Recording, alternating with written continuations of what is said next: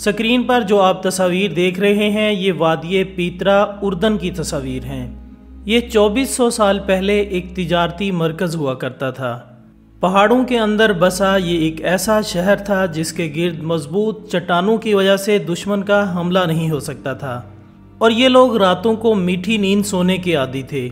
इनके बादशाह का नाम अरीताज था, जो कि बीस हज़ार लोगों पर हुकूमत करता था। यूनेस्को वालों ने अपनी तहकीक में लिखा है कि इन लोगों ने अपनी तमाम तर तमीरत इस अंदाज में की थी कि खलीज उकबा का पानी बहकर इनके पास से गुजरता था और बारिश का पानी तह बतह इनके पास जमा होता रहता था।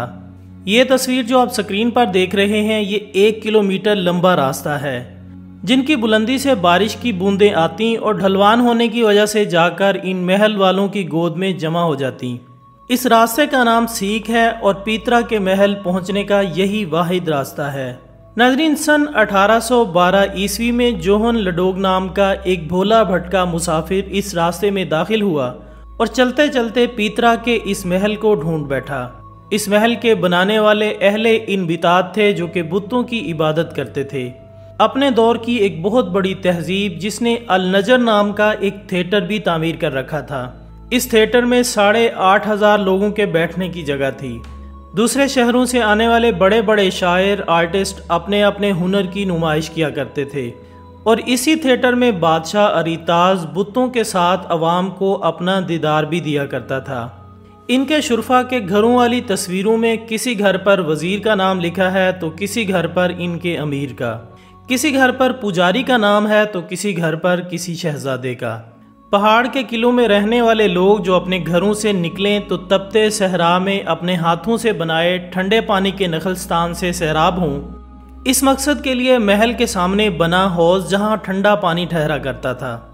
इनकी तामीरात से लगता है कि जैसे शायद इनके पास किसी भी चीज़ की कमी न थी।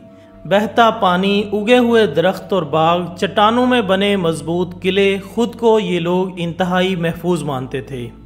यहाँ पर कुरान मजीद फ़ुरक़ान हमीद की एक आयत मुलाहजा कीजिए। उन्होंने पत्थरों में मस्कन तराशे खुद को महफूज समझते हुए, फिर आखिर ऐसा क्या हुआ होगा कि इतनी अजीम तहजीब ख़त्म हो गई? और ऐसी ख़त्म हुई कि सहराई कजाकों ने ख़जाना ढूँढने के लिए इनकी ईंट से ईंट बजा दी, और इन कजाकों से अपने महल और घर बचाने के लिए जवाब देने वाला भी कोई न था। अब तो वहाँ सिर्फ़ सहरा में चलती हुई हवा की सीटियाँ सुनाई देती हैं। एक मल्टी कल्चरल शहर बादशाह की रिहाइश गाह फ़न तमीर में आज के मॉडर्न शहरों से कहीं आगे, अज़ा, लात और मन्नात जैसे बुतों की इबादत करने वाले। इनसे पहले कितने लोग हलाक हो गए, क्या वो नज़र आ रहे हैं? क्या इनकी हल्की सी आवाज़ भी सुनाई देती है?